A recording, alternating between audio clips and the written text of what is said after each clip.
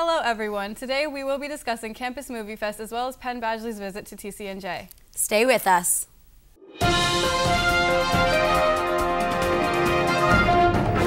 Hello everyone and welcome to this edition of LTV News. I'm Raquel Roberts. And I'm Aswitha Kalar. Let's get started. On April 15th, Campus Movie Fest, the world's largest student film festival, is returning to the College of New Jersey for the third year in a row. Campus Movie Fest is giving TCNJ Student Film Union and Student Finance Board everything needed to make a five-minute short film in seven days, including an Apple MacBook Pro with Adobe Creative Cloud, a Panasonic HD camera, and a Western Digital My Passport portable hard drive, a microphone and a tripod, training and technical support, and 1,000 plus royalty-free songs. The top 16 films will premiere at TCNJ's Red Carpet Showcase, and the top four movies will move into the national event, CMF Hollywood in Los Angeles, California, to compete nationwide for $150,000 in cash and prizes and professional gigs. CMF is free and open to TCNJ students and with a valid with a valid student ID and to TCN and to sign up you just have to go to www.campusmoviefest.com/tcnj. The launch will take place on April 15th from 12 p.m. to 5 p.m. at the Brower Student Center atrium, the collection on April 21st from 2 p.m. to 6 p.m., and the finale will take place on April 28th at 7.30 in Kendall Hall.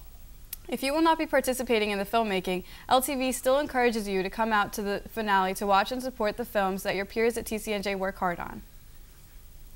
This past Friday, March 27th, at The Rat, The Rat was host to Gossip Girl's leading man, Penn Badgley, also known as Lonely Boy.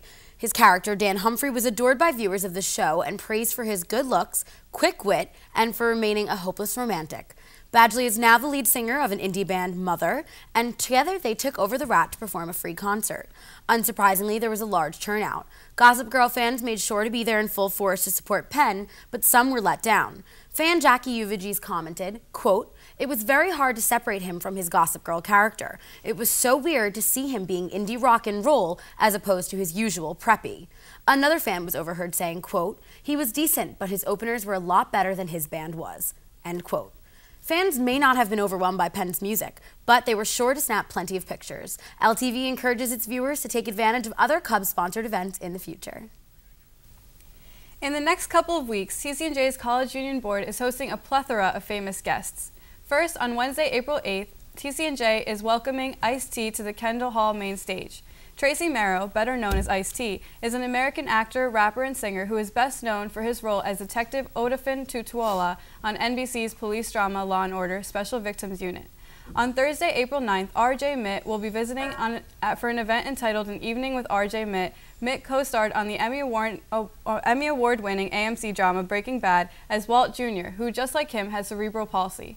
Mitte is involved with several organizations that raise awareness of equality and diversity and is a youth spokesperson for the National Disability Institute's Real Economic Impact Tour, which works to improve the financial situation of low-income persons with disabilities.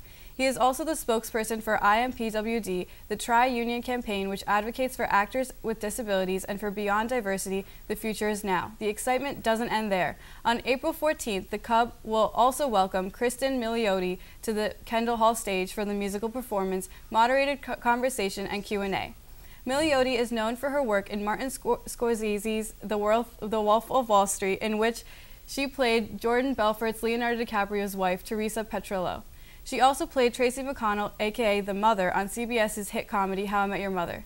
This past fall, she starred in the NBC comedy A to Z, and most recently, she joined the cast of the season two on FX's Golden Globe Award winning um, Fargo, drama Fargo. Kristen has performed numerous sold out concerts, including the prestigious Lincoln Center's American Songbook and Joe's Pub in New York. This event, just like the other two events, is also free with a TCNJ ID. We hope to see you guys there. With Passover and Easter weekend approaching, the school is reaching out to students who live off campus, asking them to take precautions before leaving for the weekend. There has been a rise in the number of break-ins occurring in the area, most specifically in student-rented homes. Leaders and residents of the Ewing Township community, along with students from the college, met in the Education Building on Monday, March 9th to review developments in the town, on campus, and in areas where the two worlds intersect. The school has been making an effort to foster stronger relationships between the Ewing community and the college's students, as well as discussing off-campus safety for them. Ewing Police Department Michael Pellegrino urged students to take precaution before leaving there for the breaks, saying, quote, If you can, keep a couple of cars in the driveway. If there's any way students can carpool, it's always best. End quote. Pellegrino also recommended keeping lights on timers, making sure that doors and windows close and lock correctly, and taking home any valuables. When students leave for breaks, their house can become an easy target. So take the necessary precautions and have a happy, safe holidays.